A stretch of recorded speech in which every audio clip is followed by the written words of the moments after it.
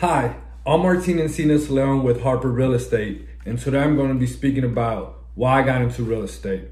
Um, in 2016, um, one day after work, I asked my parents, why didn't they buy a home in the community I grew up in in Mission? Why didn't they invest in real estate? And you know, they gave me a variety of answers that they didn't know where to start the process, that it was a complicated process, they didn't know anybody that spoke Spanish that could guide them.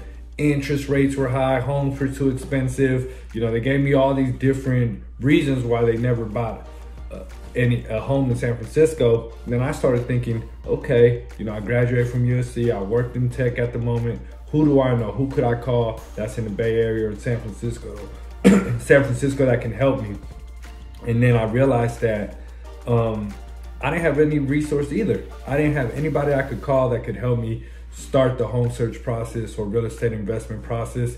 So a little light bulb went on in my head and I wanted to change that. I wanted to be that resource for people like me, people that with my background that come from my community, my city. You know, I wanted to be able to educate, answer any questions people may have, and just guide people through this process so they can make um, smart financial moves using real estate. So they could buy their home and stay in San Francisco and not get displaced. So, you know, a lot of reasons for driving the business, but ultimately it was to help people and be that resource for my community.